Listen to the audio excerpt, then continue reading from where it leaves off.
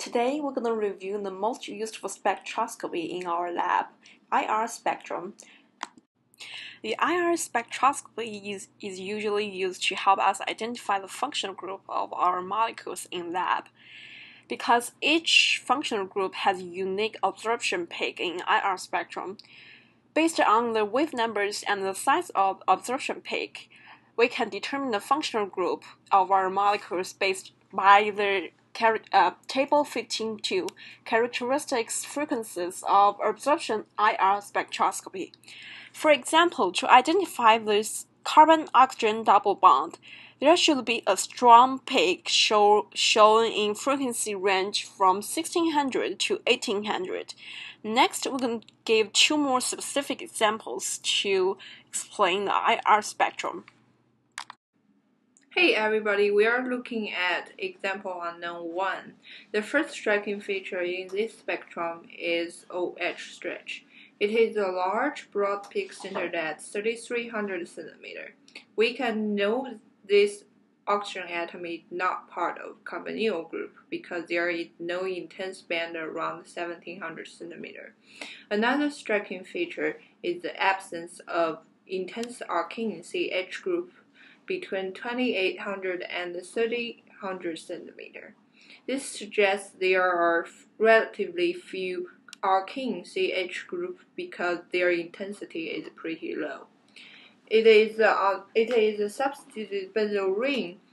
Um, it contains a substituted benzyl ring um, because the region we are looking at is below 10,000 centimeter, and and it is suggesting the benzyl ring is parallel disubstituted. So in the last in the in the end, we are looking at the structure unknown one contains a methyl group, uh, um, a hydroxyl group, and a benzyl ring. Is it good? Mm -hmm. Okay. All right. So let's take a look at an example real quick. We've got one on page 728 in the book, uh, and it gives us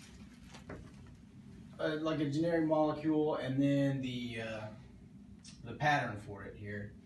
And first thing we can see is this spike here as a pretty telltale sign that there's going to be a carbonyl group, right? Because if we look at the spike, it occurs around like let's call it 1700, 1750, somewhere in there, right? So we look at our handy chart here, and uh, 1700 corresponds to a bunch of different carbonyl groups like ketones, aldehydes, esters, carboxylic acids. So we know it's one of those. Uh, second thing is this huge spike here. That's the other major contributor to the structure. And we can look and see that that one sits around 2800, right?